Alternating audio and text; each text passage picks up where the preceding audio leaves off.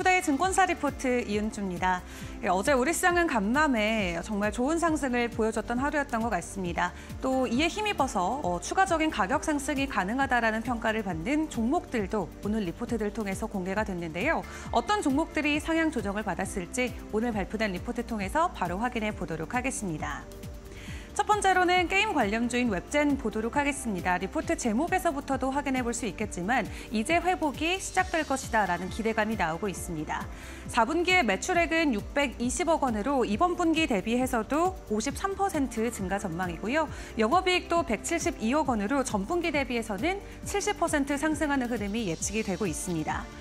10월 달에 뮤 모나크라는 신작을 공개를 했는데 당초 기대했던 것보다도 훨씬 좋은 성과를 보여주고 있다고 합니다. 구글 플레이스토어에서 현재 매출 5위권 안에 이름을 계속 올리면서 투자자들 그리고 게임 유저들에게도 큰 사랑을 받고 있는데요. 그렇기 때문에 4분기뿐만 아니라 내년까지의 실적에도 이 뮤라는 게임이 큰 역할을 할 것으로 기대감이 나오고 있습니다. 이번에 뮤의 IP의 건재함을 다시 한번 확인하면서 또 내년쯤에 중국 시장 출시와 관련된 기대감도 동시에 있습니다. 그리고 지스타에서도 새로운 신작 게임 세종을 출시했는데 이 신작과 관련된 모멘텀도 내년에 여전히 남아있는 상황이고요. 이렇게 신작뿐만 아니라 기존 게임에서의 성과까지 붙어주면서 현재 구간은 저평가 구간이다라는 평가를 받고 있습니다. 이에 웹젠 같은 경우도 목표 주가를 상향으로 조정받으면서 증권가에서는 22,500원 선을 제시하고. 있는데요. 전장의 마감 현황은 어떠했을지 가격도 함께 확인해 보시죠. 네, 웹젠 전장에는 0.7% 오름세 보였습니다. 16,580원 선에 마쳤고요. 오늘의 예상 체결가도 함께 확인해 보겠습니다. 네, 오늘은 보합권 출발 예상되고 있습니다. 전날 마감했던 가격대에서 출발 준비합니다.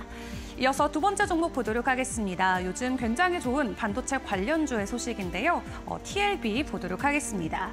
TLB 같은 경우는 삼성전자 그리고 SK 하이닉스의 차세대 메모리인 이 CXL 개발에 함께 참여했다는 소식이 부각되면서 이번 한 주 동안도 주가가 계속해서 오름세를 보였습니다.